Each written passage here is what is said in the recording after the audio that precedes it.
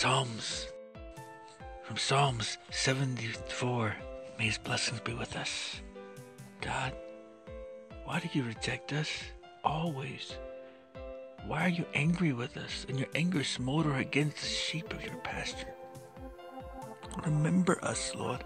Remember your nation that you purchased long ago, the people of your inheritance, whom you redeemed.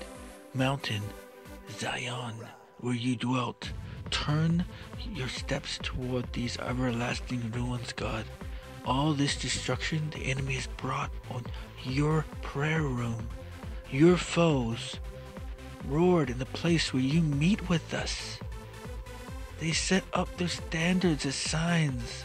They behaved like men wielding axes. They cut through a thicket of trees.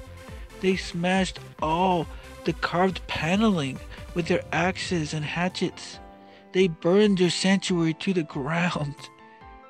They defiled the quarters, your quarters, the place of your name. They said in their hearts, We will crush them completely.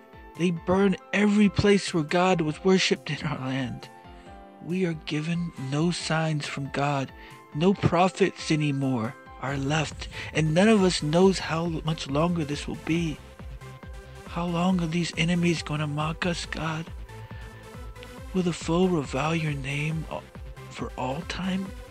Why do you hold back your hand, your right hand? Take it from the fold of your garments and cut them off, God. But God is my King. From long ago, He brings deliverance on the world.